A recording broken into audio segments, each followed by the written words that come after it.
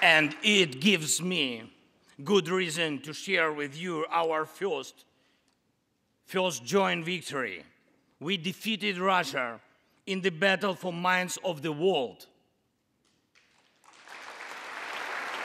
We have no fear, nor should anyone in the world have it. Ukraine's gained this victory, and it gives us courage, which inspires the entire world.